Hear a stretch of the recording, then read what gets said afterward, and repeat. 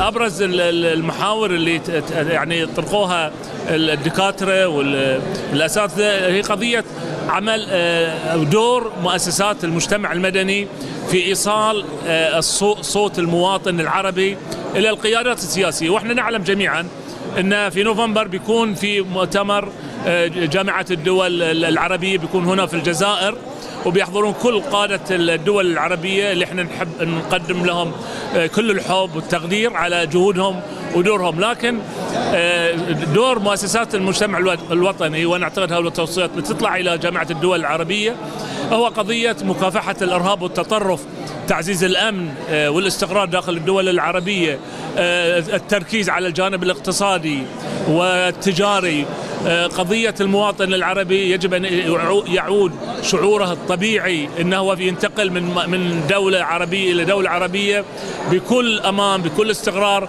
أنا أعتقد نستطيع إحنا ندفع بهذا العمل إلى الأمام.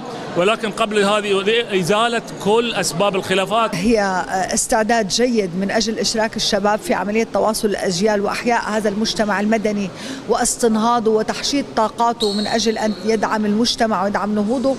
ومن أجل أن يكون طرف في إنعاش الهوية والتمسك بها والوصول إلى سبل التعاون عبر المنطقة العربية وعبر الساحة العربية. طمح من خلال هذا اللقاء الجميل اللي أقدمت عليه الجزائر شيء منظم بتنظيم صح ويحتاج إلى إنه هذا هذا هاي التجربة تكرر في أكثر من بلدان عربية من أجل خلق مجتمع مدني صحيح ضمن رؤية صحيحة تمتد إلى تطبيقها على أرض الواقع. علينا أن يكون هناك تكامل، تكامل ما بين الكل، ما بين المجتمع المدني، ما بين البرلمانات العربية، ما بين الحكومات حتى تكون حتى ميزاء يكون هناك صورة حية وواقع من أجل اليوم الرفع من مستوى الإنسان العربي، الرفع من مستوى العمل العربي، الرفع من قيمة الإنسان فعلا المجتمع المدني يعول عليه اليوم كشريك حي للحكومات. وكأيضا كأيضا يافطة للعمل العربي.